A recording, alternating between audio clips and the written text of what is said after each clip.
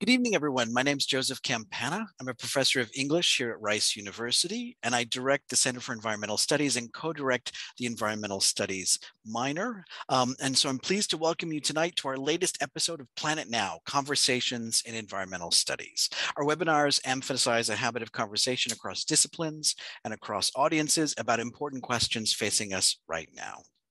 We plan these sessions in conversation with the ENST curriculum. So shout out to Prepared Air. And we'll hear more about that in just a moment.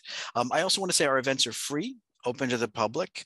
Um, whenever possible, we record these conversations as we will be tonight um, and make them available online also for free. And you can find previous episodes at enst.rice.edu backslash event hyphen videos. And that link will be in the chat in just a moment.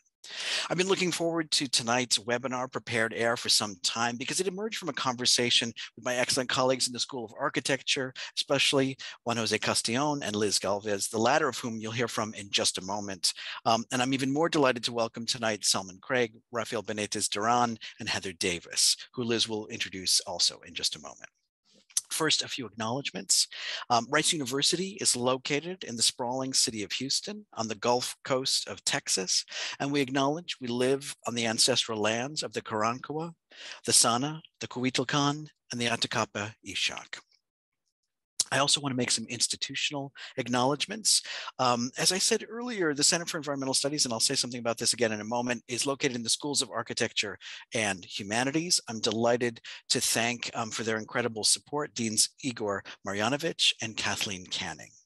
I also want to thank our um, the co my co-parent of the Planet Now series, co-director of the Environmental Studies curriculum, Richard Johnson, Rice's executive director for sustainability. He directs the Administrative Center for Sustainability and Energy Management here in Rice. Um, he has been with the ENST curriculum since its beginning um, and has taught over two dozen classes in it, including um, this spring, of course, Sustainable Futures. I also want to thank someone who is behind the scenes tonight, um, uh, Weston Twardowski, uh, the project manager for the Diluvio Houston grant funded by the Andrew Mellon Foundation. Um, Weston's an expert in theater, about to be a PhD um, from Northwestern, and he hails from the Gulf Coast and works to build environmental networks amongst artists and advocates around the city and the region. Um, and I'll also say one last thing, a shout out to some of our community partners. We've been thrilled to develop relationships over the last months um, with Citizens Environmental Coalition, Bayou City Waterkeeper, and especially important for tonight's conversation, Air Alliance Houston. Um, the relationships are still young and they're developing, but they are also already so deeply impactful. So I'm grateful to be in conversation with um, Leticia Gutierrez, Ayana Jolivet McLeod, Paige Powell, and Rachel Powers. As I said earlier, um, I'm, and I'm really happy to say one of the most distinctive things about the Center for Environmental Studies is that we're cited in humanities and in architecture. Um, environmental studies is marked by so many multi and interdisciplinary conversations, um, but the ones I find so powerful are the ones in which approaches to the arts and to the imagination, media, history, philosophy, and religion converse with attention to design, to the living sense of space, and to what we live with and build from. Um, so I'm delighted tonight is also going to be the first of many conversations very directly planned with architecture. Um, and stay tuned for future ones on water, on materials, and on many other things. Um, the premise tonight's simple. What happens when a planet full of people, some of whom may take for granted the air they breathe, suddenly, in the face of a global pandemic, think more and more about where air comes from, what's in it, and how it shapes and bodies and lives from within and from without of course, so many are already painfully aware that they do not enjoy clean air, air that can just feel transparent because it isn't.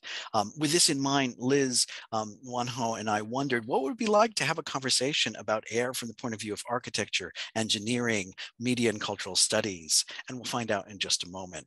Um, and I'd finally like to say, um, as a poet myself and as a literary critic, um, that I nominate for tonight um, a figure who you'll may hear more about from others, um, Gaston Bachelard, a kind of guiding spirit for the conversation. Um, if you don't know, Bachelard is an unbelievably fascinating polymath, um, someone who was a postal clerk and telegraph operator who taught physics and chemistry, which brought him to write about thermodynamics, at which point he realized he needed to understand the history of sciences in conversation with um, the history of the imagination through poetry, philosophy, and psychology that kind of says it all sort of. And, and, in a way what we know in environmental studies is that um, the things that we understand and the advances we make come from fitting together the insights of so many different um, disciplines. Um, he wrote stunning and odd and great books still influential like the psychoanalysis of fire the poetics of space water and dreams earth and the reveries of will and relevant for our, our purposes tonight air and dreams an essay on the imagination of movement. Um, i could quote from his works all night, but then you'd never hear anything from our distinguished guests, and that would be terrible. Um, so I'll just leave you with two quotes before I turn it over to Liz, um, and that I think are provocations for thinking about um, eh, eh, think about air as a provocation to understand the imagination, and vice versa. Right. Whenever we are struck by an image, we should ask ourselves what a torrent of words this image unleashes within us. That's one. The other, imagination allows us to leave the ordinary course of things. So I'm looking forward to hearing a torrent of images of air from our guests as they draw from their varied interests and expertise, um, and also to learning how these imaginings of air allow us to consider and perhaps then also to leave the ordinary course of things. But first, let me pass things over to Liz Galvez, visiting critic, critic in our School of Architecture, who's teaching this semester a course called Prepared Air. After Liz's remarks, each panelist will take about seven to 10 minutes um, to talk about air from their point of view, followed by some conversation conversation and questions from you in our audience. So Liz, take it away. Great, thank you, Joe. It's great to um, be here with you all uh, tonight. Uh, I'm gonna uh, discuss a little bit how we're taking on the topic of air uh, and what this kind of concept or idea of, of its preparation might mean. Buildings and their mechanical systems, they rely on energy to condition and environ bodies.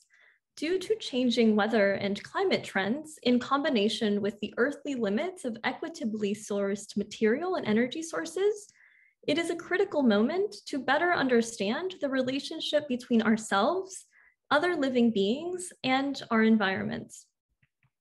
The medium of air and its management entangles us all. As breathing beings, humans must be environed by and contained within favorable atmospheric conditions. A building's environmental task can then be thought of as an effort towards a small surrounding of favorable air conditions. In contemporary practice, the techniques of architecture that define and manage these conditions are first, a membrane or enclosure that serves to delineate environments, and two, mechanical technologies which act upon the qualities of the atmosphere itself.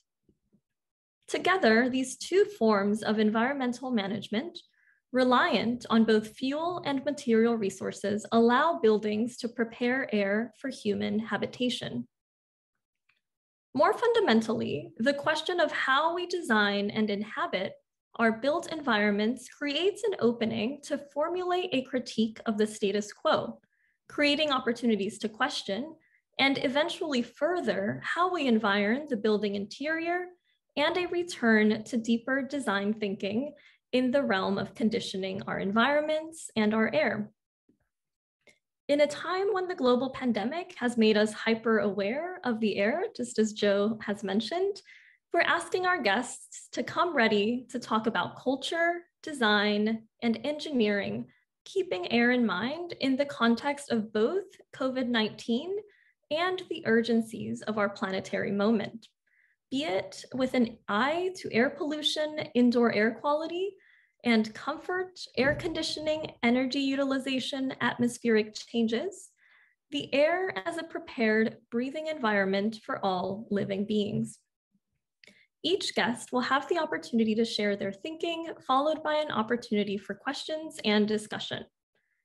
The, pan the panel is co-organized through the Rice Center for Environmental Studies, a joint venture of Rice Architecture, and uh, we're really happy to be part of this conversation. We are joined tonight by Salmaan Craig, Assistant Professor of Architecture at McGill University, who studies turning biogenetic building materials into heat exchangers. Rafael Beneytez Duran, Associate Professor of Architecture at the University of Houston, and an expert on atmosphere as form in architecture. And Heather Davis, assistant professor of culture and media at the New School, where her recent work has examined plastic saturation and materiality. Joe and I will moderate the conversation after hearing from each of our guests. Thank you all. Thank you so much, Liz. Thank you so much, Joseph. It's sort of comforting and, and weird at the same time to, to know that despite the distance between everyone, we're, we're ultimately sharing the same air bath that is the atmosphere. um, I've prepared a few slides. Can, can you see that um, title page? Thank you. Um, so uh, uh, before, before I talk exclusively about my fluids research, I, I, I want to give the context of my, my broader re research program, which it focuses on two main areas. Uh, the first is on natural modes of thermoregulation and ventilation in, in, in buildings, uh, you know, without, without machines, without equipment. And, and the second is on new bio-based uh, building materials for, for long-term carbon storage uh, with, with special thermal functions, the idea being to, to obviate air conditioning. And in both of these areas, I investigate complementary aspects of, of uh, fluid mechanics and, and materials engineering at the interface of in architecture. And the idea is to understand the physical limits of naturally conditioned bio-based buildings in, in different climates, cultures, and, and landscapes. In other words, I ask, uh, can buildings be designed as part of natural carbon cycles with their materials, while also harnessing ambient energy for natural air conditioning? So it, it's worth emphasizing uh, first the wider significance of, of fluid mechanics in, in, in architecture today once architects realize, I've found, uh, that we all live submerged at the bottom of an ocean of air, they often undergo a deep uh, transformation in outlook. It is no longer possible to consider spaces as empty while sketching plans and sections. Meanwhile, the COVID 19 pandemic has forced everyone to reconsider the, the fluid medium we share and breathe, the, the windows we leave shut, the filters that go unchanged, the plumes and currents that convey aerosols and heat around rooms and between us. Not only is it crucial to advance specialist knowledge of how air behaves in buildings, but it's also essential to democratize this understanding among everyone who designs and inhabits them. How we condition and interact with our interior climates has significant implications for society and everyday life, from personal and public health energy use, and greenhouse gas emissions from burning fossil fuels and, and leaking refrigerants. My fluid mechanics research focuses on what I uh, on how to design what I call uh, livable temperature cascades. Most modern energy efficient buildings are designed on the premise that all rooms should be thermally comfortable all the time. More and more researchers are starting to challenge this notion, uh, thankfully for instance, by showing how it would be a grave mistake to erase vernacular knowledge of how to organize interior spaces thermally.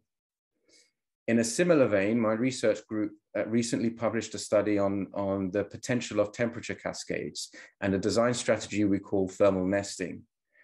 A temperature cascade refers to a series of spaces that are progressively warmer or cooler than the exterior. Meanwhile, thermal nesting refers to architectural configurations that produce these temperature cascades naturally.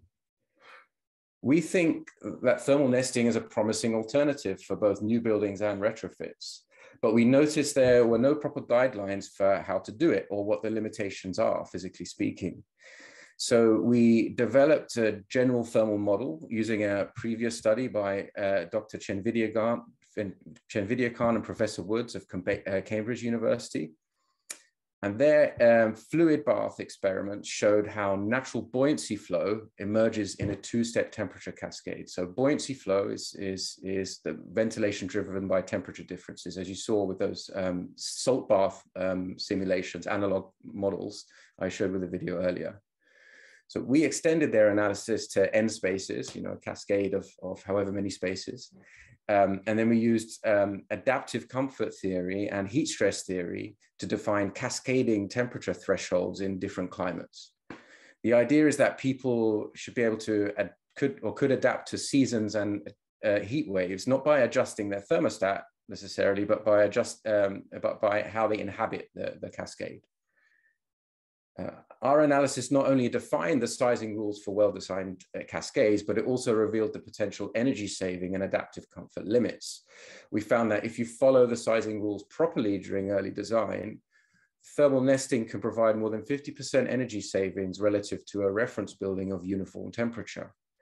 And we were also able to point out the pros and cons for different design choices. For instance, when it's worth adding extra steps in the cascade, how to balance the heat recycling uh, between spaces, when it's better to ventilate the spaces separately or in a continuous stream, and why nesting might be particularly good for, for retrofitting uh, um, heritage buildings. In my lab, we're, we're setting up a, a new synthetic Schlieren uh, system for visualizing thermally driven uh, airflows. And one of the first experiments we plan to do is to investigate the transition between mixed conditions and stratified conditions in a two-step and three-step temperature cascade. Um, but before that, there's another flow experiment we want to do first, which we've been eagerly waiting to do for, for some time. Professor Anne-Marie Adams, a colleague, uh, good close colleague at McGill University, a historian, um, both her and I uh, have uncovered an historic uh, precursor to ventilation heat recovery at the former Royal Victoria Hospital in Montreal, first built in 1892. Um, the pavilion plan patient wings were cross-ventilated in the summer and ventilated by central J tubes in, in the winter.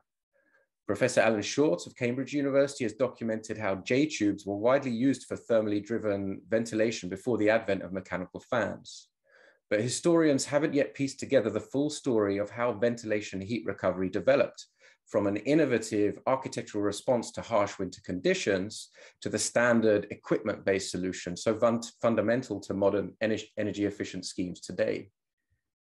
Back in the 19th, late 19th century, the threat of frozen pipework in heating plenums was a real concern in, harsh, in the harsh Montreal winter. The local RVH engineers managed to devise an innovative approach to preheating the incoming air. They did so using an early form of heat recovery. And this cold weather adaptation of the pavilion plan was de developed despite deep set disagreements with Henry Saxon Snell, Snell was a well-known British um, specialist in hospital ventilation who proposed the pavilion plan scheme to the client. But it seems he had little understanding of local engineering practices or the harsh realities of the Montreal winter. And this generated many conflicts and misunderstandings during the design process. Any professional practicing today would recognize these tensions, especially when reputations are on the line. Having pieced together this history with Professor Adams, we are about to conduct a Schlieren experiment to demonstrate how the heat recovery ventilation system worked. Here's the pilot experiment using salt water to simulate the, the thermosiphon.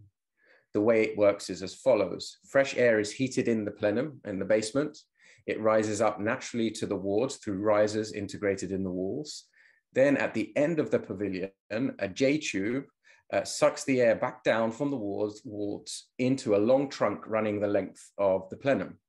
And this trunk, warmed by the exhaust, preheats the fresh air. So the, the, the trunk is warm and therefore it preheats uh, the, the fresh air and it's warm because of the exhaust, hence the heat recovery. Using Schlieren, we will be able to demonstrate the heat recovery from the trunk and its effect on the buoyancy flow dynamics. And we'll also be able to examine a new class of heat recovery configurations inspired by the Royal Victoria uh, Hospital. Uh, just to end, I, I, want to try and relate this um, uh, to temperature cascades.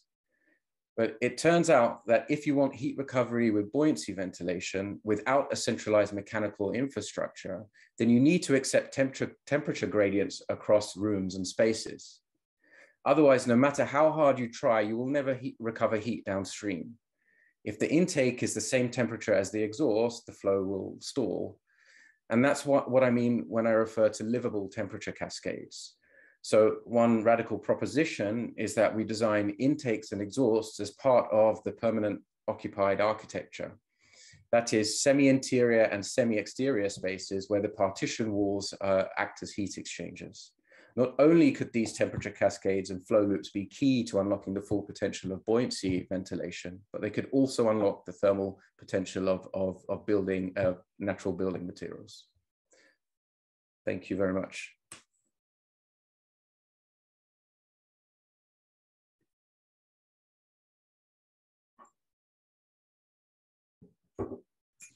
I guess it's my turn. Um, thank you very much for the invitation, all of you, Jos, uh, Liz, it's great to be with you both, Sal and Heather. Uh, it's, it's just a beautiful opportunity for me to talk about my research.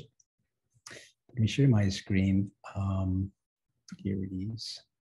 Um, sure. Do you see? Okay, great. At the moment, humans uh, have realized the fragility of air chemistry and life by taking consciousness of global warming, even if we might still see the atmosphere as an unfathomable territory. We also have realized that the ordinary is extraordinary. As a contribution to the panel, I wanted to stress the idea of what air is in contrast of what air is supposed to be.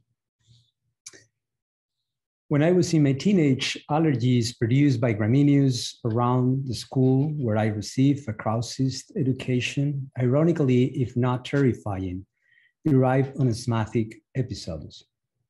I was commuting from a urban center where my home in Madrid was to the multi-chrome prairies of the school. I was breathing more artificial than natural air. Beyond years of doctor appointments, to treat my asthmatic reactions, I learned from my lungs the meaning of situated air.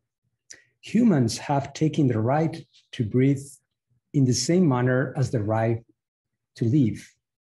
And from this particular perspective, we also have narrowed our bonds with air to a biological implication, but it's as, as if breathing well were an expected health parameter.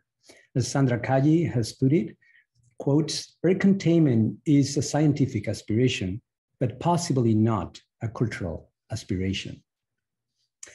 What we call air is really a hybrid plurality of actual, actual substances, including the chemical arrangements from the original gases of the primitive atmosphere to present, as well as our exhalation of carbon dioxide, lungs, microbiotes, and all other substances particles we call aerosol coming from human and non-human emissions, including those that emanates from the many forms of combustions, heating or cooling the house, driving to the grocery, or ordering mesquite grilled veggies, and those that return to the atmosphere in the process of warming the permafrost, perhaps methane, and those violently erupted by volcanoes, perhaps Cumbre Vieja.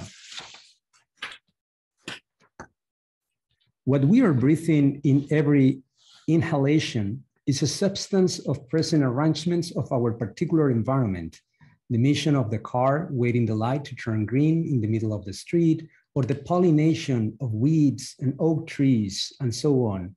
But it's also a millenary substance that has registered a vast quantity of events that go from the massive disruption of oxygen produced by the life of the oceans 520 million years ago to the accumulation of carbon we have been pumping out into the atmosphere since James Watt patented the steam engine in April 1784. We are indiscriminants of what we breathe. As Pierre Charbonnier puts it, we are breathing the ashes of modernity. All of these actualities are, in a sense, together in this reality we call air. Air belongs to the family of heterogeneous, multiple, and massively distributed in time and space physical realities, an object that is not only life support, but produced by entanglements of life and non-life form under physical and temporal undulations, as also relates to humans, air qualify to what Timothy Morton has termed hyperobjects. The growth of urban and suburban areas of Madrid from the 1980s to the present not only have pushed out weeds, prairies full of life, in exchange for houses, shades, and engineered green carpet of single species grasses, but also have made urban and suburban users be allergic. Itchy eyes, runny nose, sneezing, coughing, short of breath, are reactions of poor air users for their inability of breathing the intense red, orange, yellow, green, blue, purple of the random wild prairies of Madrid. Green carpets are not only extensive post-war imaginaries, but become a unnoticed breathing prosthetics for less resilient human breathers. In this process of weed deterritorialization, thousands of insects and weed types that hold food webs, the nourishment of about a third of the bird species, in addition to lizards, frogs, toads, and bats, not to account for rodents and bigger mammals that produce rich air, are washed out if not killed. Killing weeds, the messengers of the forest in wish to return, the producers of microatmosphere oxygen rich by microunits of life, is the weaponization of air that compromises air reach to succeed. We have lost the rich air of the childhood I never learned to breathe. We have compromised air, and in return, we are becoming breathless out of the urban fields. We haven't learned enough from the short life of David Vetter, trapped in a bubble for 12 years, born with a severe combined immunodeficiency syndrome. Feminist scholar and environmental humanities thinker Astrida Neimanis argues that, quotes, our weather making return to us as humans in multiple ways, quotes.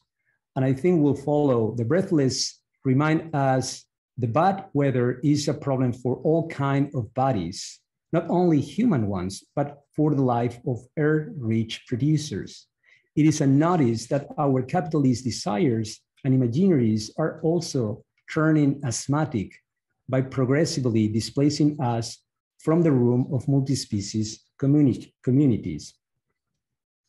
From a microscopic view of air, in every cubic meter, meter we breathe, we will find thousands of life forms. In this moment of the global pandemic, almost all of us acknowledge that airborne microbial life is in constant interaction with human life. But as philosopher and posthumanist thinker Monica Baca remind us, quotes, not only in a pathogenic, but also in a, in a beneficial way, quote. Every human body, cell, and respiratory system colonies of flora extended over the 540 to 810 square feet our lungs have when unfolded half of a tennis court, contribute to a microbial exchange when breathing. Even if we cannot see it with the naked eye by breathing different bodies of air, the dry room, the wet binary, the breath of the Gulf or the rose garden, the frog call, the song of the Canadian geek, our internal prairies and throat oceans intertwine with other breathing beings. Moreover, paraphrasing Neimanis in her book, Bodies of Water, our bodies of air open up and intertwine with other bodies of air with whom we share this planet. Those bodies in which we sweat, from which we inhale, in which we exhale, which grace our prairies and constitute our multitudinous companion species. The human body is a transpecies environment. The small variations of environmental conditions, wind, radiation, noise, shades, dramatically affect the reproduction cycles and behaviors of all live creatures of situated weathers. It is not only the footprint, but also the shades of the built environment that compromise our immune system by depriving, depriving topsoil to receive the necessary sun radiation the shades of the middle class houses of thousands of suburban developments are also prosthetics that have deprived the plants to succeed the photosynthesis. and decrease the oxygen level, suffocating microlife of prairies that protects the topsoil. It reminds and thought that the shades of architecture not only profiled the modern beauty claimed by Le Corbusier, but also suffocated life of non-human forms. Beyond the architectural disciplinary design concerns about client prompt, design strategies and methods, program, typology, form, composition, the Toboggan House, a house designed and built from 2008 to 2016, is based on the idea of a breathing prosthetic that permits air reach to succeed. The house is surrounded by a permeable membrane of the, for the well breathing of a multi-species colonies of air users into a situated environment. Artemisia pavis, bulbin, therastum, cistus, conovolvus, gaura, nepeta, lavandula, dianella, lirio, achiela, acer, gronus, citrus, weeds, all of them. The permeable membrane that surrounds the house is a prosthetic for the solar radiation to be modulated, the air to circulate softly. The noisy excitement of the nearby school teens, where I learned the meaning of situated air to be quiet. The necessary light for photosynthesizers to be scattered and around at the Toboggan house, light energy flows around underneath and top from the cosmos to the garden, while the prosthetic membrane keeps metabolisms and multi-species webs protected. Thank you.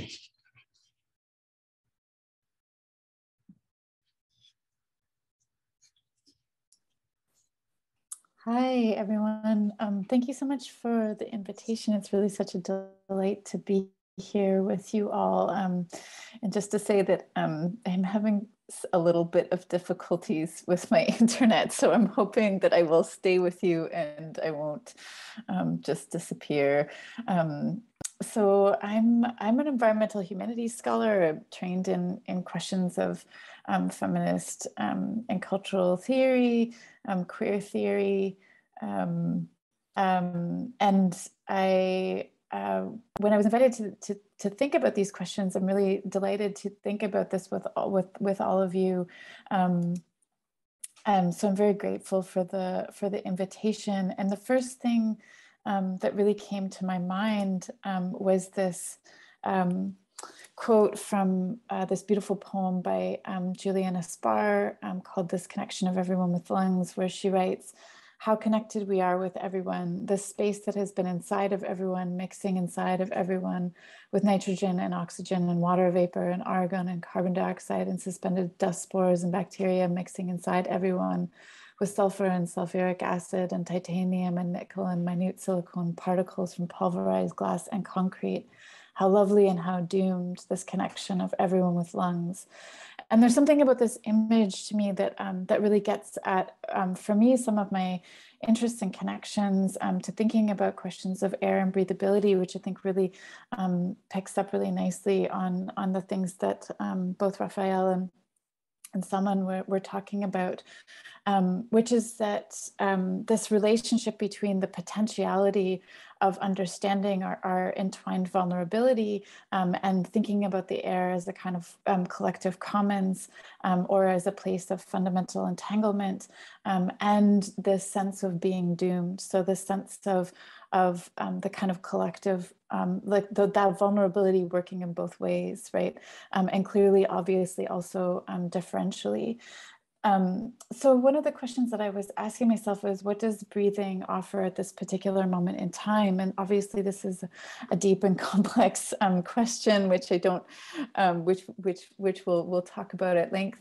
Um, but one of the things that I was really thinking through is this relationship, this kind of tension between these two poles of vulnerability. So the pole of the commons and the pole of of um, of the precarious nature of what it means to be a creature with lungs. So to think with the atmosphere is to think about the common connections that unite all of us in the circulation of carbon dioxide and oxygen. Um, and I should say that, that a lot of my work is, is really interested in um, questions of climate change and especially in thinking about plastic as a kind of intimate manifestation of our relationships with fossil fuels um, and petrochemicals more broadly. Um, and so we obviously um, cannot take breathing for granted, especially in our present moment, um, as, um, as the, the other panelists have beautifully elucidated. So as Peter Sloterdijk um, has written, quote, the progressive explication of the atmosphere forces a sustained mindfulness of the air's breathability, above all in the physical sense, and then more and more in the meta metaphoric dimensions of respiration and cultural spaces we begin to understand, and he uses this incredibly gendered language, um, it's his, not mine, um, that man is not what he eats, but what he breathes and in which he is immersed, end quote. So breathing in contemporary times reveals a deep vulnerability to the outside world, to both intended and unintended harm. Um, and I think that we can see this obviously um, through so many of the things that that we're experiencing in relationship to the pandemic, as so many other people have already pointed out. Um, what COVID is really showing us is the kinds of cracks and fault lines um, that have always been there, um, but that are maybe becoming a little bit more clear under the conditions of this um, of this tense, intense kind of unbreathability. And as Nicholas Mirzoeff has, write, uh, has written, um, for example, colonialism is palpable to its worldwide populations in terms of unbreathable air. So thinking about the relationships of the manifestations of how we've conditioned the air to reflect particular kinds of social and cultural formations um, and how those then have have um, kind of this recursive material effect on our actual bodies. So in other words, colonialism itself is a set of material conditions that often manifest through the molecular constitution of the air and air quality. Um, despite its circulation, um, it's obviously not universal. Um, so um, one of the things that I'm I'm interested in is this relationship of um, petrochemicals to questions of air um, and climate change, and in particular, um, one of the people who's been deeply inspiring um, for me to like think through these relationships is um, is uh, Kyle Whyte, who has really talked about the relationship of, of climate change as not a new event, but rather the amplification and intensification of the kinds of terraforming processes that settler colonialism has always been engaged with. Um, and other, other folks like um, Eyal Weizman has have taken this up, this proposition up as well. Um, and so I'm interested in the ways in which the air and, and the transformation of the biosphere more broadly um, has really resulted in the, the kind of terminology um, that Rafael was just pointing out, which is the weaponization of the air. So how does the air actually get turned into a weapon? Um, and of course, the first time the air was explicitly used as a weapon was on April 22nd, 1915, when uh, the German gas regiment launched chlorine gas against French and Canadian troops during the First World War. And here, the inherent vulnerability of the body to its outside was put to the service of mass death, a slaughter produced by rendering the atmosphere unbreathable. So this weaponization of the air continued throughout the 20th century. Um, for example, in the first instance of militarized cloud seeding, um, which is the use of chemicals to produce rain clouds and control precip precipitation, the weather was used as a weapon by the US um, during Operation Popeye in Vietnam so the proposition, although as far as I understand, it didn't work particularly well, but the but the um, idea was that the jungle was made to turn against its inhabitants in an attempt to rain out the Viet Cong, who used their deep knowledge of the landscape as a wartime strategy. In 1997, the United Nations Organization for the Prohibition of Chemical Weapons banned the use of any chemical weapon in warfare as an attempt to stop these kinds of explicit militarized um, practices of using the air against, against um, people. But the ironic part of this agreement is that gassing continues to be a sanctioned method of policing against dis dissenting domestic populations, as tear gas is commonly used um, against protesting civilians. So this vulnerability to the outside is through, exploited through warfare and other regimes of state-sanctioned death Um, but it also perhaps more subtly and persistently is used to maintain colonial and white supremacist structures by limiting the conditions of breathability, um, especially for Indigenous, Black, and other people of color. So we often think of events in the air as natural, but it is becoming increasingly clear um, that climate change and atmospheric pollution, um, in addition to um, the pandemic, um, uh, very different climatic conditions for different populations. And I would argue are the deliberate, deliberate molecularization of colonial capitalist and extractivist politics. Um, so Christina Sharpe has poignantly written um, about the ways in which atmospheres are not neutral, but can be misused as a continuation of biopolitical strategies that reduce the life expectancies and enact regimes of slow violence. For Sharpe, the afterlife of slavery is, quote, the weather. And even if the country, every country, any country tries to forget, it is the atmosphere. So these atmospheres of neglect are as literal as they are metaphoric, the haunting and reverberating pleas of Eric Garner and then more recently of um, George Floyd um, as they were murdered by police um, on Staten Island and then um, in Minneapolis has become the rallying cry for the beauty and importance for the movement of Black lives. And of course, it wasn't just these two people, but um, many people.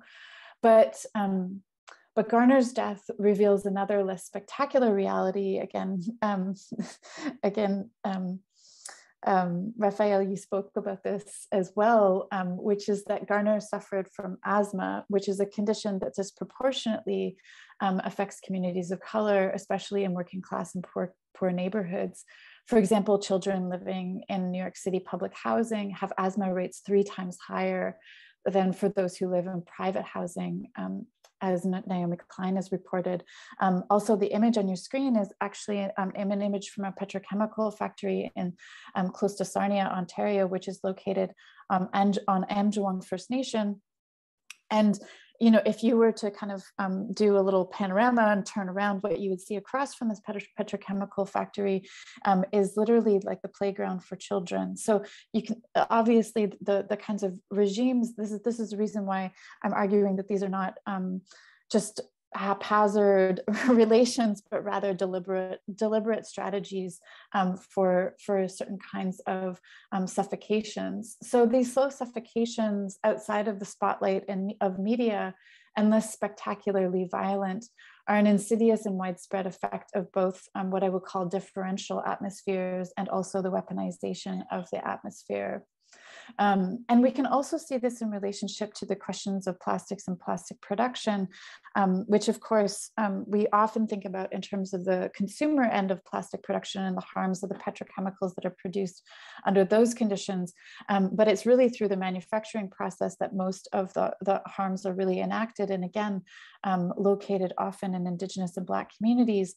And and also thinking about the relationship to um, the COVID pandemic, that one of the things that that I know I've been curious about, and although I don't have any definitive um, statistics or numbers about this, is the relationship between the fact that we're all breathing in these plastic particles constantly through our masks that we're using to protect ourselves against um, COVID-19. Um, but then of course, all of this then goes back to incinerators, um, which then of course leads to, leads to worsening air condition, air, air conditions. So I'm, you know, I'm happy to say more about about plastics and, and sort of carbon um, later, but um, just to kind of signal that. So the common need to breathe, the common molecular connections that are made um, between all of us with lungs are not as common as we might like to believe or as we may wish them to be. The deferential conditions of breathability teach us that our politics are always material and are always molecular. Um, as Elias Canetti has said in a speech for Hermann Broch on the occasion of his 50th birthday, quote, to nothing is a man so open as to air. Air is the last common property. It belongs to all people collectively. And this last thing, which has belonged to all of us collectively, shall poison all of us collectively. Although Canetti was most likely lamenting the conditions of atmospheric warfare, it's hard not to read these words today as a prophetic reading of climate change and the effects of airborne pollutants. But contained within this lament is also the assertion of the commonality of air, of the right to air, understanding the air as a, as a commons. For within the atmosphere, within the mundane and transcendent conditions of breathing, there's also the possibility to understand climate um, in a radically different way, to advocate and fight for an atmospheric commons, not subject to state, corporate, and military dominance. It seems more difficult to think about climate change as an external problem if we think about the ways in which um, the, sh the shift literally changes our lungs and our bodies. And so advocating for the atmospheric commons could be a radical and useful intervention into our current political impasse around the kind of inaction around climate change. So we are the air that we breathe, and this assertion is not just existential, but calls for an ethics that recognizes interdependency as the foundation of mammalian life in drawing awareness to breathing, we are paying attention to the consequences of how we relate to air as a dumping ground for carbon dioxide and methane and particulate matter, or as a connection to our ancestors, other creatures, the land and water as the very core of our being. And so, in some ways, I think that what we're witnessing in relationship to using the air as a kind of dumping ground for, for petrochemicals um, and for other kinds of um, chemical militarized contaminants is an ontological misrecognition of the category of the individual to begin with, right? So that so that if we think of ourselves as um, as an individual, as a sealed off possibility for a container, which I would argue is also kind of that kind of logic is embedded within um, within the materiality of plastic, then we miss, then it becomes easy to understand why we would put all these toxicants out into the world. Um, but as the other panelists have so beautifully elucidated, um, the ways in which we think about our fundamental entanglement and the fact that we cannot actually escape the fact of our connection to everybody um, and by everybody I mean all the beings um, um, that that if we reoriented our kind of our kind of politics of being around that, then I think it would become much much more difficult to um, to justify these kinds of um, continued colonial measures in terms of climate change and and the the explicit use of petrochemicals. So I'll stop there. Okay, thanks so much, Heather, Rafael, and Salmaan. Um, we are going to um, get into conversation now. And as uh, Liz and I do that with some questions for our panelists, so many things to think about and so many wonderful cross connections. I just want to remind um, the audience, you can post questions, comments in the Q&A function. Um, many of you are very familiar with Zoom webinars at this point. For, the, for those of you who are not, please just look down at the bottom of your screen, the Q&A, and you can post things there. And Liz and I will keep an eye on those and bring them into conversation. Um, so maybe Liz, I'll ask you if you want to sort of jump in first with a question or uh, with a kind of comment to start tying things together. Apparently, I um, I keep starting my my spiel before unmuting. Sorry about that. Um, yeah, I'd love to um, go ahead and, and jump in. Uh, one of the things that really struck me as um, as the three of you were talking was this this this idea of of the interior and the exterior this kind of relationship between an interiority and an exteriority uh, I think uh, Salmaan, like you, you started talking about these um, these beautiful idea of of the the thermal cascade, right? And there's uh, this this idea of a kind of gradient or a slower transition uh, an entanglement between what might be a semi-interior and a semi-exterior. Uh, with uh, Rafael's project, I can't help but think about the um, the kind of wrapper around these volumes as a as a kind of mediative threshold, and then I think this uh, idea of of our human and our kind of vulnerability as beings that that breathe to to that exterior and and this concept of the individual and and uh, thinking about thresholds and enclosures I just wanted to kind of open up the conversation to talk about the um, the kind of I think we would all agree the impossibility of of any kind of environmental bubble and why I think that the conversation around air as a medium becomes a really provocative one through which uh, we might enter uh, the, the conversation around climate change, right? Since um, 1986 uh, Risk Society, written by Ulrich Beck, you know, talks about how basically we are uh, confronting the the the kind of byproducts of of our modernity, right? And so I think um, maybe if we could uh, start by trying to entangle or unpack these kinds of um, ideas of uh, a kind of capitalist society and air as a as a kind of medium that um, that note that that becomes a kind of uh, notational system for um, uh, for for that uh, kind of uh, economic system and uh, and how the idea of a of a perceived interiority perhaps is actually uh, detrimental to our the kind of anxiety that we should perhaps be feeling to to our vulnerability to this exterior right? Because i would say like everything is all everything is either interior or, or exterior. There's a uh, I, I, I almost want to kind of like dismantle the idea that there can be an interior or an exterior, but it's so embedded in the way in which we think about a built environment and the kind of uh, containment of, of a favorable climatic condition. So I just wanted to, I can open it up to, um, to each of you maybe to think, to think about or respond to this idea of, of interior and exterior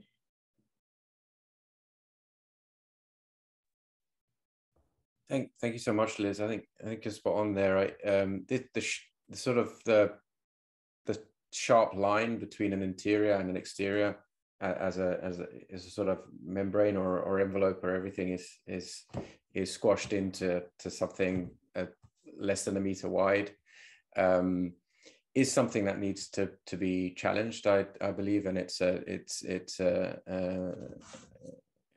it's a reflection of uh, a modern approach to designing uh, environments, um, but also I think of the supply chain and how and how how uh, building assemblies are ordered and and um, organized, and how knowledge um, is fragmented across the industry as well. Um, it's also it's also a division between um, an assumption between public and private space uh, uh, as well. So that that's um, that's the um, political ground, and especially I'd say in um, uh, North America, it's hard harder to um, Im imagine a, a, gradient of of exterior to interior spaces and public to uh, uh and public to private spaces uh, as well as a so as a soft as a softer gradient.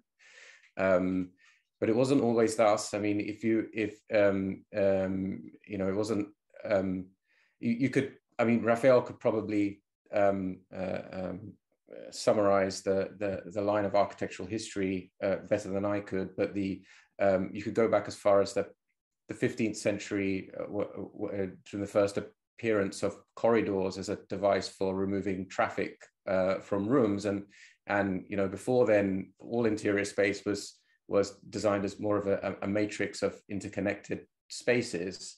Um, which would more naturally generate uh, different thermal thermal zones and, and, and temperature and temperature cascades and, and environments and, and a much more a, a soft softer gradient um, uh, between human life and all and, and biological life um, as well. I'm not not not um, uh, um, so so that, that, there's there's a lot to be said there and and and then the yeah just a, a little bit more um, th- this this idea of of of the the envelope um, and and the sharp delineation of of inner and outer space. You know, it we it can't and living in a bubble. It's just it's just not possible. Going to be possible for everyone in the world to live like that. Um, energetically possible, and um, yeah, we don't have enough um, uh, we can't afford all that all the refrigerants um, to be able to do that um, so so it's uh, so we have to challenge that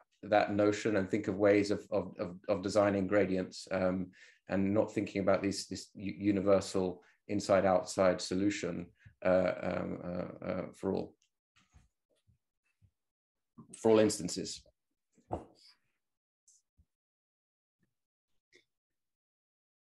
Yeah, as much as as much as I can talk from the standpoint of architecture and um, I think I think we're we're we're in need of challenging a, a, a deep deep structures of our own internal structures of knowledge, power, and laws and regulations, and many underlying system of um, ways of uh, of understanding what what what what is this uh, confrontation between the object and the subject because it rooted uh, our inability of, of, of thinking out of some um, limits or some let's say the idea of the limit the idea of the of the of the skin as a limit instead of the skin as a zone of interaction and negotiation and so on. So uh, in this regard, I feel that uh, challenging the idea of interior and exterior as a design practice is is uh, is is necessary. I think I learned a lot from Sal uh, in one of his presentation when he explained to us how to build a breathable wall uh, and how the wall will permit the temperature to adequate from outside to the inside and how many uh, challenges uh, technology as such will have to confront uh, laws, regulations, and you know systems that we have been building for many centuries to understand or to organize our our structures, as I mentioned before, laws, regulations, deep uh, structures of powers and wealth, and so on. Because it's very difficult for for us to um, as a as a as a as humanity uh, think beyond what is this confrontation between um, the limits of the objects and the limits of the subjects and so on. So I, I, think that there is something there that is that is interesting to me, but also provoke me a vertigo because of as much as you try to to to dissolve boundaries, you, you have to change many other structures of of knowledge and power and so on. I would like to just to drop that um, it was it was 90, 1928 when um, um, Siegfried Ebeling uh, did something amazing, which was trying to understand the human body, no uh, from a plastic perspective, but from a plasmatic perspective. And he wrote a manifesto that he dropped on the table of Walter Gropius the, the, the, when Walter Gropius was founding, the, the, the Bauhaus and building this you know, knowledge uh, and plastical knowledge and creative knowledge that we are absolutely trapped into. And he was challenging the whole idea of, of the limits and you know our ways of looking things. And he was saying that we shouldn't paint the walls, we should illuminate and use the energy of the sun to change this spectrum of colors that led him to write a uh, manifesto that was space as membrane, as if space were not going to be any more interior or exterior, but, but a kind of a skin that goes and negotiates from the outside to the in, to the outer to the inner part of a body that could be also projected to this idea of more uh, let's say Gilbert Simondon thinking that what about if we think our body no as an object, but as a, a skin that negotiates from the outside temperature interchange to the inside where the body becomes mineral, mineralized as a, as, as a skeleton. So the skeleton is not other thing that is thicker, stronger, and compacted skin. If we see the body as a skin, is a different thing as if we see the body as an object. And if we treat the body as a skin, as a permeable, trans transparent some fluxes, then we will radically understand a different uh, beings uh, because we will, we will be transparent to other beings and so on. So th there is something there that I, I never arrived to uncouple strongly, but I think is I don't know maybe maybe Heather have better tools that I have to talk about that, but just dropping these to Heather, I think. Um, yeah, I mean, I think that like one of the a couple of things that really came to mind when you were talking about the questions of interiority and exteriority um, is the concept of, of transcorporeality from Stacy Alaimo, who like really thinks about that kind of um, relationship of how the body is the outside and the outside is the body, but that there is still some obviously some kind of a division, but like what that divi division is is not so strict. Um, or um, Nancy Tuana also has a concept of um, viscous porosity that I think is also useful um, in thinking about that kind of like kind of the ways in which the body is always like in process and and kind of always decomposing and recomposing itself right throughout throughout our lives.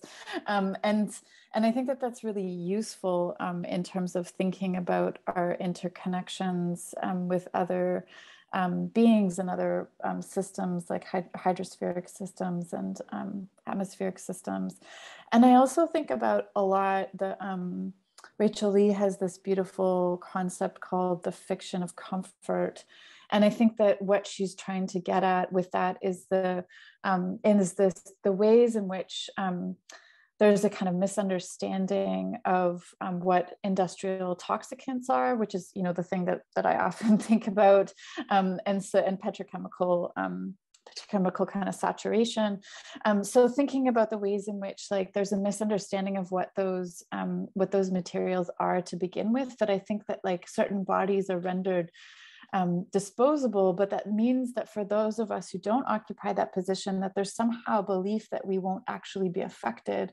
And I think that there's something similar in relationship happening with climate change, right? Which is that there's like certain groups that are kind of like rendered and made fungible um, but that but that within that um, there's a kind of belief that somehow those of us with enough um, power and wealth and, and privilege of other kinds um, will somehow um, not be vulnerable to those harms. And i think that there's a lot of um, theorists and people obviously on the ground who are really pushing back against these notions um, and and thinking about this in particular you know michelle murphy has has long been writing about these questions and think, writing about the ways in which you know if you have have something like a colonial atmosphere, it's going to affect all of us, right?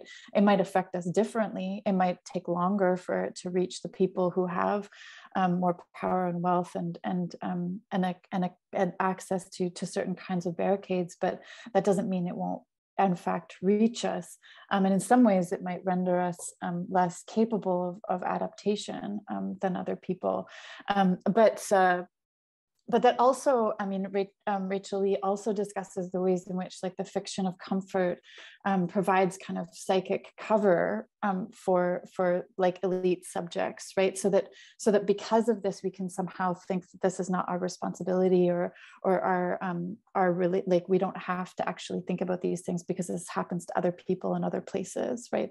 Um, and uh, maybe just as a total aside, one of the things that I've, I've been I've been also thinking about is the ways in which um, the kind of sealing, this kind of desire for everything to be so sealed in, it's like so beautiful to hear about um, your projects, Rafael and Sal, because um, you know I, I, love this idea of these these um, breathing buildings and and all of these different kinds of historical and contemporary examples of how that happens. Because I mean, correct me if I'm wrong, but I'm I'm I I I believe that also the, the ways in which buildings are sealed off can often be a source of indoor air pollution, right? Like that through, and also through the, the kinds of things that we use to, to seal those things off. So um, all of the kinds of petrochemicals that are inbuilt into, into different kinds of housing systems, the formaldehydes, the um, you know the uh, the the the plastic paints you know all of this stuff which i understand is it's better than lead paint but nonetheless right it's kind of like it's really beautiful to hear about this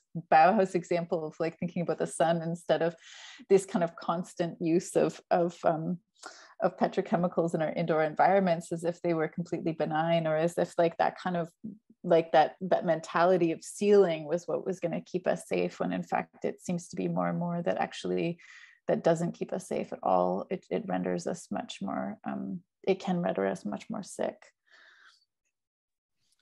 You know, I think something really um, wonderfully coming out of this conversation. Um, it has to do with the way, I mean, to come back to something that um, Heather said earlier, if, if part of the importance is to imagine there's a kind of atmospheric commons, it's also important to understand that we don't all breathe the same air, same air, right? That air is incredibly situated and particularized, right? And, and you all have different ways of thinking through those possibilities. Um, I kind of want to tie that to a couple of the conver- conver- um, couple of the questions and comments that are coming in through the Q&A and encourage anyone else who wants to post one to please do so.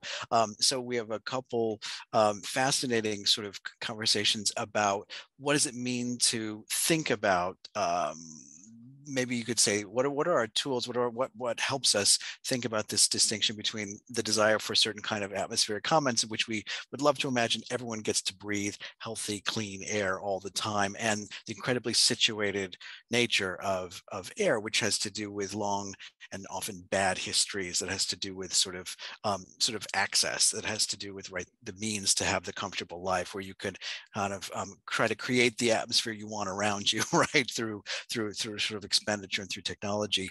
Um, and we've got kind of interesting questions about well, how do we think about that in terms of our teaching, but also, especially for architects, how do we think about that in terms of client demands? That these are very much social problems and not just sort of design problems. Um, I'm just going to say quickly a couple of things that I noted as you were all talking, and then just invite you all to kind of think a little bit about about that. Um, you know, I was really so fascinated by the idea that for you, um, history and something you referred to as vernacular knowledge is really important as a way of trying to figure out that sort of commons versus specified sort of versions of air. Um, and for Rafael, I was really struck by this term, term situated air that you used, but also the idea that we're often tangled up with what air is versus what it should be, that that sometimes is also a kind of uh, problem for us. Um, and Heather, of course, thinking through all the conceptual and historical sort of uh, inheritance that are still in the air with us. You know, you open the door and feel like you get this sort of fresh air that's right now, but really traveling with it are these long, long standing currents, you know, most of which are still interfering. So in a sense, um, yeah, I'd love to hear how you think about how we teach for, how we talk to clients, how we talk to all sorts of people about this desire for kind of the atmospheric commons we need maybe right now.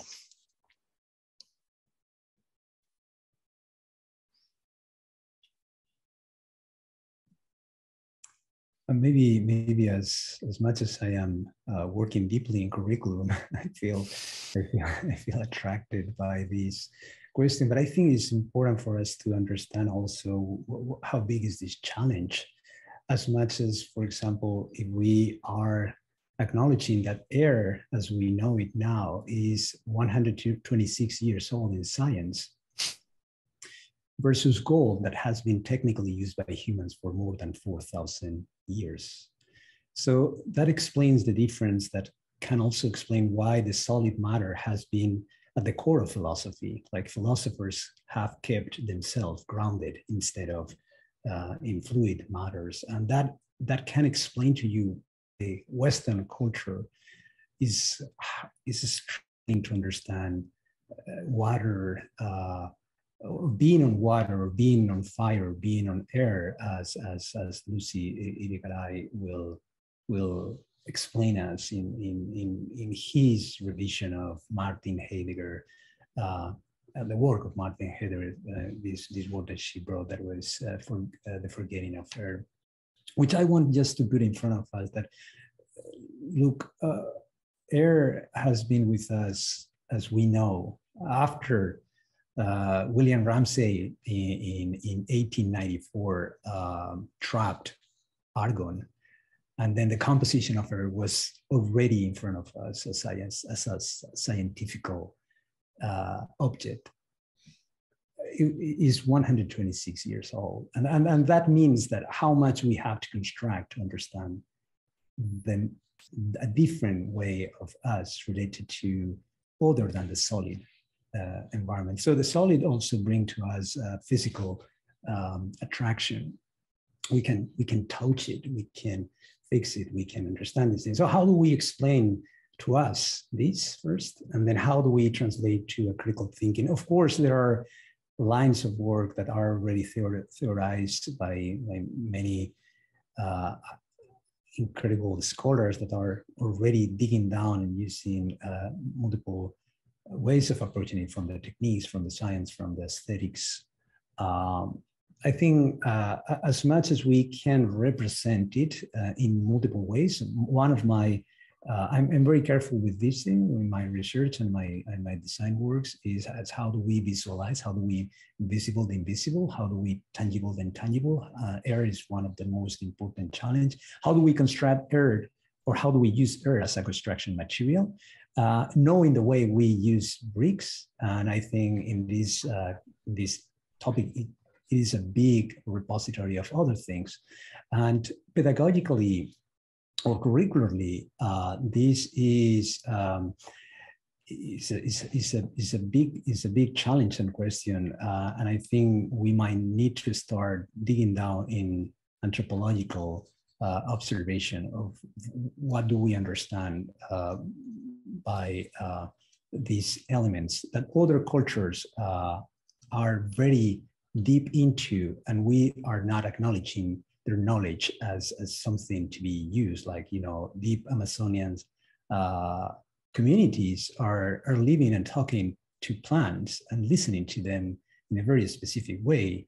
And uh, in that capacity, they have de- developed a huge uh, understanding of others, otherness, and other beings, and these transmissions and things. So I think curricularly, I think anthropology will be a good element to look at uh, closely and understand other ways of, of, of, of thinking uh, the otherness uh, beyond Western culture. And that's why I was bringing before this, this big structure of, of elements that are absolutely on top of every definition we try to build. And again, going back, uh, just I'm circulating around, like air is with us for no more than 126 years. And that is kind of ironic, if not uh, terrifying, as much as we inhale every second to survive and produce ourselves. And, and that's why, uh, I don't know, architecturally, uh, I found that, that, that idea of the skin and how the skin, but I learned recently that the multi-layer skins, as Salmaan taught me before is not also a good alliance. If instead of looking for more monolithic or monomaterial capacities and I, and I, and I and there we are in this moment so. I, I think the, the the sort of uh, insight really for me is is is is that it's as much about spatial design and and materials design and and and fluid mechanics design to, to together um, uh, to be able to, to, to, to design these different environments. And and not not in the way that you can arbitrarily um, design spaces and then and then use mechanical systems to set whatever temperature or or, or what have you in a in a way that um, some some architects uh, do today, but to to actually uh, un understand the, the laws of thermodynamics and and and how how heat moves from hot to cold and and how how air flows from uh, from uh, um, from high pressure to low pressure and and to be able to to to, to work with these. Um, the, the the the thing that um, the issue that um, Heather raised for me about uh, for the fight for atmospheric commons and that Joseph and Rafael have just underlined I think so so so important um, is an analogy with the, the, the, right to clean water and as a, as, as, a, as a public right. And there's a, there's a vested interest to, to technology only solutions for internal in, environments because, because, it, because it means then, then our, our, our, our, gov our governments don't need to, to, to worry about um, cleaning up cities and towns and, and, and, and, um, and not worrying that, that um, they're, they're polluted um, with, um, with cars, etc. Um, so you can't, there's only so much that you can do with, with architectural design and, and natural flows of, of heat and air if, if, if your, if, if your uh, local um, area is, is, is air polluted, right? So you need to, to, to have naturally ventilated buildings and such, you also need uh, clean, clean, clean air in and around. Uh, is, is, is vitally important. And then, then you can start actually uh, doing things with, without uh, without uh, without equipment and using and and and technology and and material sourced up from arbitrarily across a, across a global supply chain. Um, the the you, you summarized nicely, Joseph, the the the, the questions and the uh, and the connections between the questions that I've I've uh, I I see here. I'll I'll I'll just I'll just try and quickly ad, ad, address each, each in turn. I, think um, uh, Rafael spoke a bit to to Saman's question um, about about um, uh, pedagogy and and and the, the, the many people are are are thinking very deeply about how to readdress curriculum. Um, Rafael is one of them.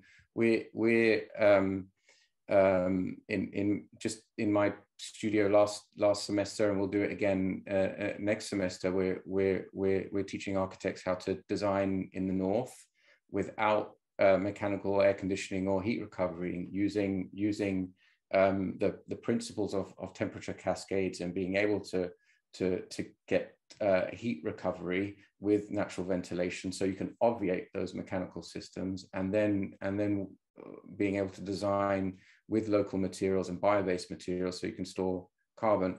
The only um, in, in in building um, uh, structures but it's you you have to first uh, impart the physical imagination in the in the minds of architects first. So so they, ha- they have to have an imagination about how how air flows in in buildings and how it's powered by buoyancy. And and for that there there's has to be a shift in the education. In in, in north america especially i'm not, not saying uh, but uh, and uh, in other places of the world as well there's a there's a deep split um, uh, between the, the, the curriculum of design and the, and the, and the curriculum of equipment.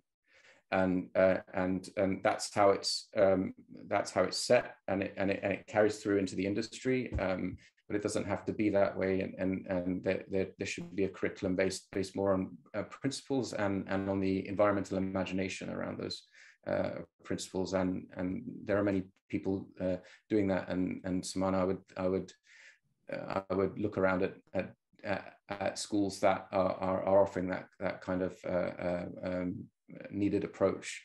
I saw that um, Kenneth asked about about the, the cultural constraints of, of, of comfort and and Heather spoken about uh, about um, comfort very eloquently. Um, I just say that yeah, I think I agree with you that it's as it's as much, if not more, a, a social challenge, uh, uh, so to speak, rather than a than a than a than a, than a technical one. Um, uh, to to to break any habit is a is a is, is a challenge but that's that's i think the the, the agenda of architecture to to to imagine um, uh, not that uh, to imagine the uh, the the kinds of different habits of life possible and different kinds of um, social interaction and different kinds of pleasures uh, um, possible with thermally heterogeneous uh, environments um, and and it's a it's a very rich area once you start to to, to scratch it. And um, so I think that's um, that's part of our architect's duty to think about that and to imagine and, to imagine. The problem is that that nobody can really imagine it otherwise because uh, because we're all living in our bubbles. So so um, it, it's it's it's a challenge of imagination too and then and then lastly, um, uh, Sarah Kantorowicz, I think I think I know who you are. Um, if if it is you, then then uh, great to, to hear from you again. Um, uh, if it, it, might be an ex-student of mine, and I hope she's doing well. But the um, about the example of biomanufacturing facilities with vaccines and and and basically special building types that that that really do need um, enclosed interiors. And and it's just to say that we need to move beyond totalizing ideas of, of one solution fits all. There are some building types which which just need to be designed like space shuttles like that's for sure. Um, but but not not every kind of building. And um, you know some some some architects that to um, to, to point to for for for Sarah and Kenneth. Kenneth might be famously Lacaton and Vassal, who who uh, masterfully designed these different um, um, environments um, from the um, interior to the quasi-interior to the quasi quasi-exterior, but also masterfully don't over-program these spaces so so that so that or overdetermine their their use. So so that they're they're conceived of as free spaces and it, there there's an, a sort of emergence of of of um, occurrences in those spaces um, and and a poetics about them that um, yeah that's the area that that architects can can really think about um, yeah. And it, every building being different and and sort of not not a non-universality to, to their approach I love that you've brought us back to imagination poetics, back to Bachelard in a way. So maybe this is a way of queuing up um, Heather for a kind of last word since we're um, getting to the end of our time. Um, Heather, would you like to say something? Sure, I'm happy to. Yeah, definitely around the question of, I think, environmental imaginaries. Um, I think that that's um, super important. I mean, one of the um, quotes that's kind of like stayed with me was um, U on the occasion of the first Earth Day, where he said that um, we don't want to, in 50 years or 100 years looking back, um, say that that um, that we ran out of food, air, and um, and ideas. And i think that like that is that's super interesting to me right? That um, that that he would say that. It really i think points to the importance of fields like architecture and design in relationship to questions of of um, climate change or, or um, more localized air pollution. Um, but yeah one of the one of the one of the artists that often um, that i often draw inspiration from in, in thinking about the kinds of questions of of um, the air as a commons is Amy Balkin's um, project, um, Public Smog, where she um, proposed to, um, she proposed two things. One, where she literally bought a, a bunch of uh, pollution offsets on, on the market and then uh, didn't use them, right? And so there's there's a there's a more eloquent word for that, but I've forgotten what it is, what it's called. Um, but uh, but and I you know, and I often think about this. I you know, I often sort of ask my students about this. It's like, well, what if we did this on a much more massive scale as a kind of activist action, right? What if there was thousands of citizens who went and bought these um, bought these pollutant quotas that you can buy on on just the regular trading markets and and just didn't use them, right? That it would significantly improve, or it has the possibility at, at certain scales of, of potentially improving um, kind of localized air quality, which also, of course, has a has a larger um, impact in terms of um, carbon emissions more broadly. Um, and then the other thing that she proposed was to um, make the atmosphere um, a UNESCO World Heritage Site, um, which is obviously like a little bit more tongue in cheek as a proposition. And she wrote these like beautiful letters to everybody who's on the um, UNESCO committee, and nobody wrote her back. um, but uh, except for I think one one person um, from a, a low-lying um, island nation state. I'm forgetting which one. Um, but uh, but you know which which i think like goes to show the kinds of like effort that is possible right in terms of in terms of addressing these things. I think one of the things actually around questions of habit um, that the last couple of years has really shown us is that we can make major societal pivots um, extremely rapidly if the need arises right? And i think that the question that for a lot of us we've been kind of trying to figure out is like how do we how do we make something like climate change have that sense of um, um, importance, right? And so um, to, to do these kinds of things um, and to, to reorient ourselves to, to maybe a different sense of aesthetics and atmospheric relations, um, to thinking about things like the kind of questions of, of comfort in, in different, um, in different um, places or, or these kinds of um, relations of, of um, heat and, and cold and you know all of all of these kinds of questions. But also to think i think about the question i often also think about um, the ways in which um, you know Subhankar Banerjee has has sort of asked us to think about like what if we narrated the kind of birth of the environmental movement within North America um, through the um, through the the story of um, of the resistance um, to uh, Project Chariot, which was meant to take place um, on Indigenous land in, in Alaska, um, and and the the in the 1950s where they were going to explode a nuclear bomb up there and it was going to obviously be incredibly devastating for the ecology of the area and the, and the folks in the and in the community. And i'm sorry i'm forgetting the the, the nation's name but um but they you know launched this incredible resistance against basically the US government and won, right? And what if that would be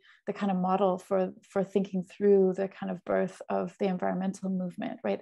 Instead of the kind of um, resistance that, that kind of builds out of a kind of more um, like NIMBY-like focus, right? So um, the relationship of, of kind of self-protection in relationship to the, to the environment, not wanting to have a certain kind of relationship to personal toxicity, again, kind of like this logic of that I think is built into some strands of the environmental movement. What if instead it was really about um, saving these saving these ecologies and, and really understanding the power of of um, of local community action, even even in sort of insurmountable odds. Um, and I think that that it for me is like a very inspiring way of thinking and reorienting. Um, and again, you know, picking up on what Rafael was saying that, you know, I mean, I think that, you know, it's now even been recognized by the United Nations that that um, indigenous sovereignty is is one of the most important things when it comes to the environmental movement right? So um, so really thinking about like how do we um, think about questions of land back? How do we think about questions of of um, of anti-colonial um, relations to to the land.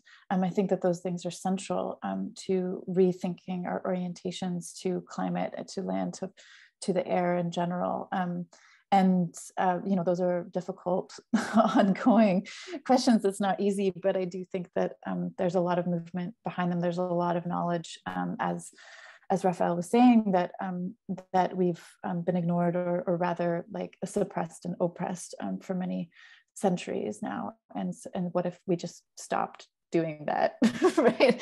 Kind of like what if we just stopped subsidizing fossil fuels? You know it's, like there's i think there's there's some things that that i realize are difficult to convince politicians to do because of um, the massive amounts of money that they get from these industries. But uh, but but there is a certain way in which you know sometimes just stopping doing something is incredibly helpful. Um, you don't even have to do anything else yeah, it's in a way, I think a really incredible place to end. What if we had the imagination to stop doing certain things, right? Um, anyway, I uh, I want to thank everyone for for staying with us for this fantastic conversation. It's a testament to how interesting it's been that everyone stayed so late, um, and we're really grateful for your time. I want to thank um, Salmaan and Rafael and Heather for their incredible contributions. It's been great to organize this with um, with Liz and with, with Wan Ho, and I'm looking forward to more such conversations in the future. I'll just say quickly, keep an eye out for a couple more Planet Nows this spring.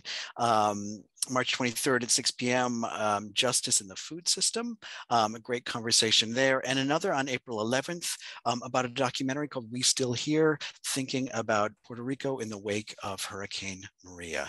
Thanks so much. Have a good, have a healthy, have a clean air breathing night, um, and we'll see you again. Bye-bye, everyone.